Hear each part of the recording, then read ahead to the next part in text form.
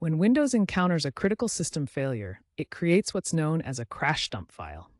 These DMP files are your key to understanding what went wrong. A DMP file contains a snapshot of your system's memory at the exact moment of the crash. This snapshot preserves critical information that helps identify the root cause of the failure. There are several types of dump files, each serving different purposes. Full memory dumps capture everything, but are very large. Kernel memory dumps focus on system-level information only. Mini dumps are particularly valuable because of their small size. They contain just the essential information needed for analysis while being easy to share and store. Every DMP file contains specific components that provide different pieces of the puzzle.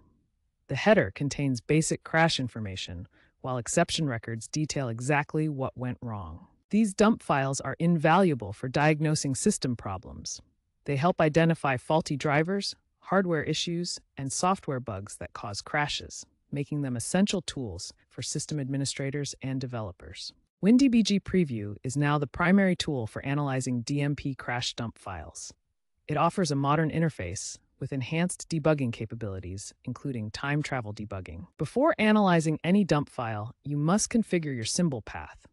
This is crucial for translating memory addresses into meaningful function names and code locations. Once your symbols are configured, you can use essential WinDBG commands to analyze crash dumps. Let me show you the most important commands you'll need. The Analyze command with verbose flag is your first step. It provides automated analysis and often identifies the faulting module or driver immediately.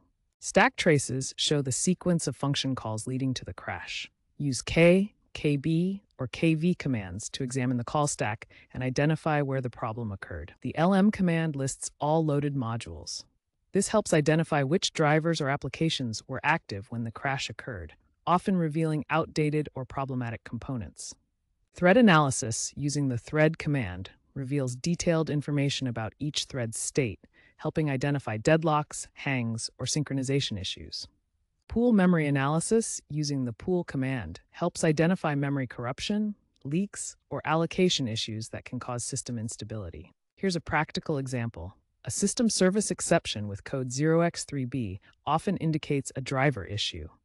The analysis reveals the faulting driver, and examining the stack trace shows the problematic function call. Remember this workflow. Configure symbols, open the dump file, run analyze verbose, examine the stack trace, check loaded modules, and investigate threads or memory as needed. This systematic approach will help you identify and resolve most crash issues.